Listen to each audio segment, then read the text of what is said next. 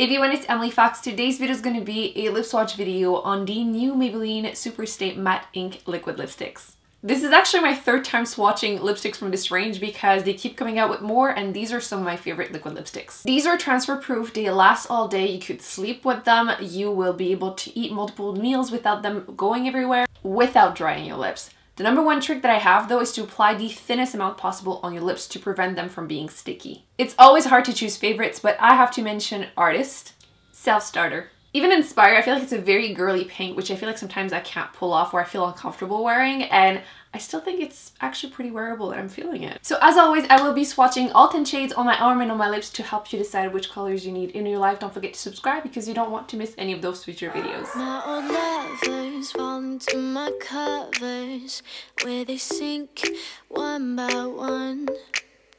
Yeah, I watch them disappear to nothing, disposable as chewing gum. There are deal breakers where I come from. My family don't suffer, fools glad they know. Do we kiss and lie in bed to feel awkward silences? Do we feel emptiness afterwards?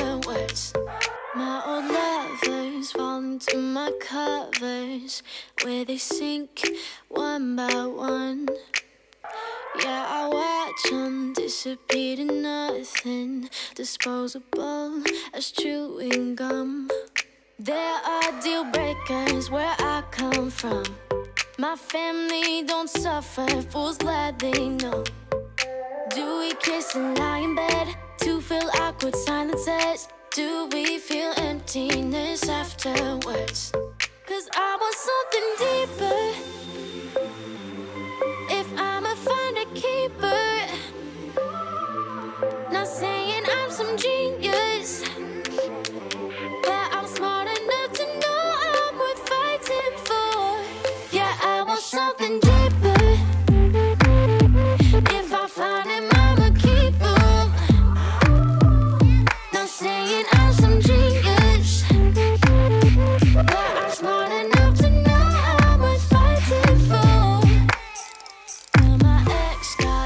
baggage like a bellhop. Yeah, I love a cry for help. But I'm tired of lying with liars. You're the truth, I'm scared to tell. There are deal breakers where I come from.